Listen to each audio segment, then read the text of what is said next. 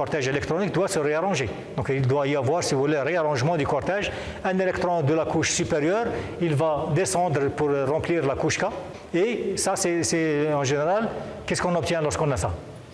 On obtient l'émission de rayons X. D'accord? Donc il y a émission de X. Lorsqu'un électron passe de la couche L à la couche K, ça c'est ben, pas dans le noyau, dans le, cortège électronique.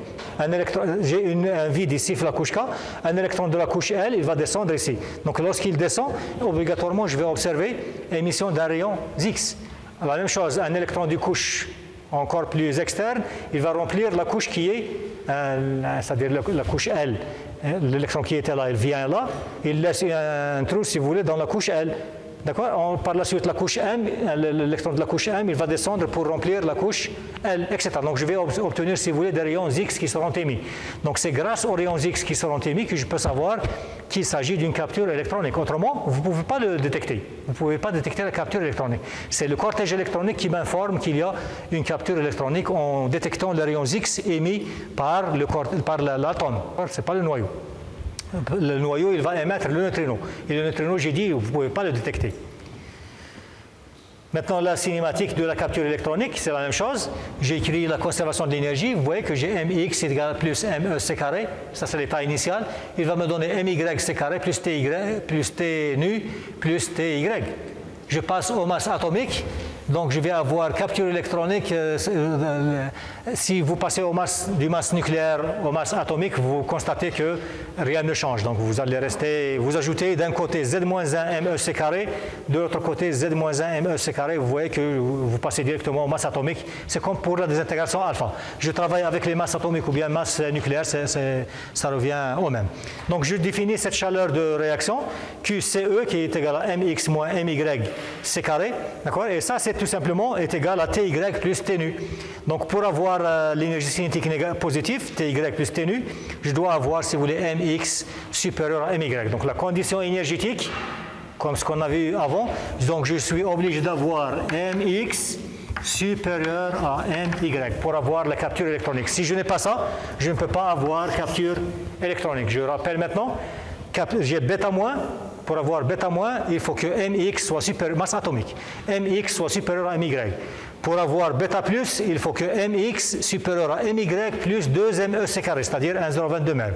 Pour avoir capture électronique, il faut que mx soit supérieur à my. Donc vous voyez que la capture électronique, il est facile. Je peux l'avoir soit lorsque j'ai la, la, bêta plus ou bien la bêta moins. Je peux avoir les deux. Je peux avoir bêta moins plus capture électronique et je peux avoir aussi bêta plus plus capture électronique. Parce que la condition énergétique est simple. Hein. Vous voyez qu'il suffit que mx soit supérieur à my. Pour schématiser ça, vous voyez que j'ai le noyau.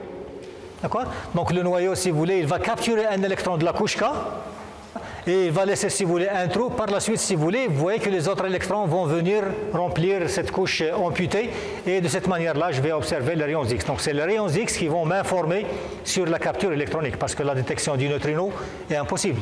D'accord? On ne pouvez pas la détecter avec un détecteur comme ça. D'accord Le neutrino, il interagit très faiblement, donc ce n'est pas facile de détecter le, neutrino.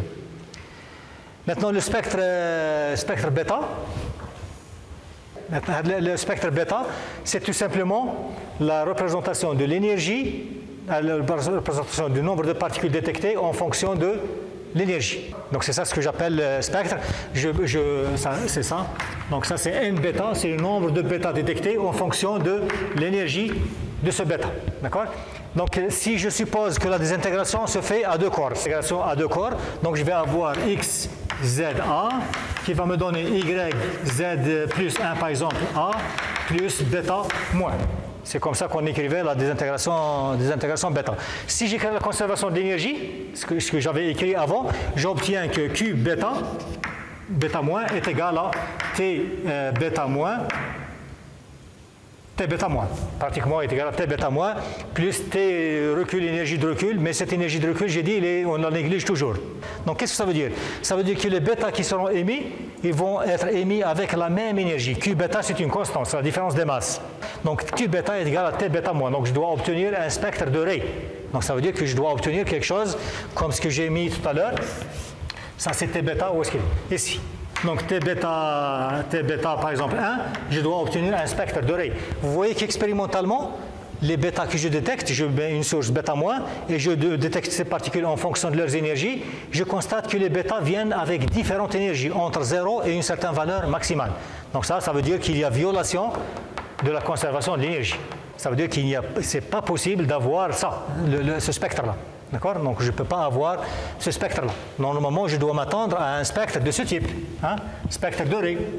Pour les particules alpha, d'accord? Un spectre doré comme ça. Donc ça, c'est la, chose euh, qui est très importante. Donc automatiquement, pour expliquer ça, pour, sinon c'est impossible. Comme ça, c'est impossible. Donc pour expliquer ça, on était obligé d'introduire une troisième particule. Donc c'est pour ça qu'on a introduit l'antineutrino E. D'accord? Donc, de cette manière-là, je vais avoir ici plus T antineutrino E. Et de cette manière, vous voyez que le Q bêta qui est égal à une constante, il est réparti entre le bêta et le neutrino. Lorsque le bêta prend quelque chose qui est de l'ordre de 0, le neutrino il va emporter toute l'énergie Q bêta. Lorsque le bêta emporte pratiquement le, maximum d'énergie, c'est-à-dire la valeur la plus grande de l'énergie cinétique, ça c'est l'énergie cinétique des, des bêta, mais des neutrinos.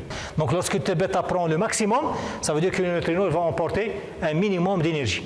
Donc sans cette particule, hein, sans cette particule, je ne peux pas avoir conservation d'énergie. Donc la conservation d'énergie exige l'introduction de cette troisième particule qui est le, neutrino, euh, le neutrino électronique. Donc ça c'est un, type de neutrino, donc c'est le neutrino euh, électronique. Et la prochaine fois on va revenir sur ça.